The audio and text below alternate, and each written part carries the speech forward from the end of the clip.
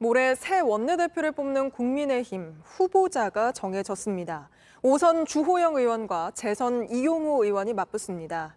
이에 앞서 내일은 윤리위를 열어 이준석 전 대표의 추가 징계를 논의할 걸로 보이는데 최승희 기자가 전합니다.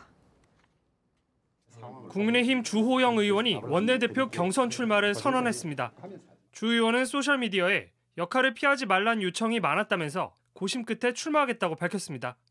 또 위기 수습을 위해 나온 것인 만큼 내년 4월까지인 권성동 원내대표의 자녀 임기만 맡겠다고 했습니다. 애초 당내에선 친윤계 의원 등을 중심으로 주 의원을 추대하는 방식이 거론되었습니다. 주 의원이 이미 원내대표를 지낸 바 있고 대통령의 뜻, 이른바 윤심도 주 의원 쪽에 무게를 두고 있다는 분석이 당내에서 나왔기 때문입니다. 하지만 재선에 이용호 의원이 출마하면서 경선이 이뤄지게 됐습니다. 윤심을 얘기하는 것은 당의 위기를 위기로 보지 않는 거다 그렇게 생각합니다. 추대는 지금 21세기에 맞는 그런 아, 어떤 선출 방법은 아니다. 국민의힘은 모레 의원총회를 열어 새 원내대표를 뽑을 예정입니다. 또 이에 앞서 내일은 윤리위원회를 열고 이준석 전 대표에 대한 추가 징계를 논의해야 할 전망입니다.